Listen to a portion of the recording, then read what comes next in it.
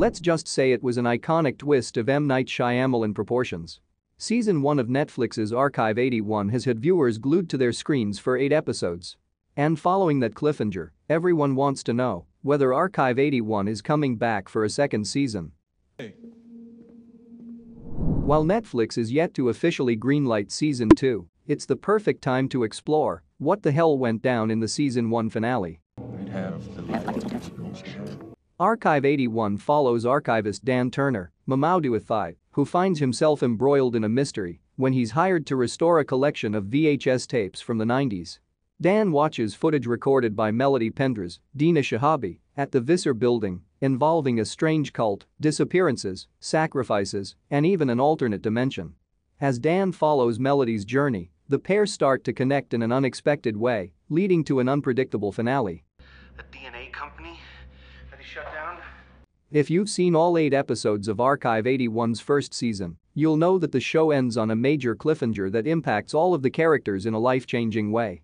Here's what you need to know about Archive 81's season 1 finale. But before that, don't forget to like and subscribe. Melody's mom, Julia Bennett, is revealed to be a Baldung witch who can open the portal to the other dimension. Dan enters the other world to find Melody, who has been trapped there since 1994 when Samuel dragged her in after summoning Iris. Once there, the demon Kaelego attempts to distort reality and manipulate Dan into staying. Dan's family appear to be alive in the other world, with Kaelego hoping to con Dan into remaining there forever. Why? However, Dan finds Melody and convinces her to leave with him. They follow the sound of the key, produced by Julia, and try to find their way out of the maze that is Kaelego's lair. Just as they are about to leave, Samuel appears and grabs Melody. He pulls her through an open door and into the light. In the present day, Melody appears from the portal, but she is alone. She's reunited with her mom, but Dan's best friend Mark wants to know where Dan is. The scene cuts to Dan in a hospital bed, where he's been for two weeks. A nurse reveals that he survived a fire and that no one has come to visit him in that time. On the TV, MTV plays, and it's announced that Kurt Cobain has died. Dan stands and looks out of the hospital window, where he sees the Twin Towers.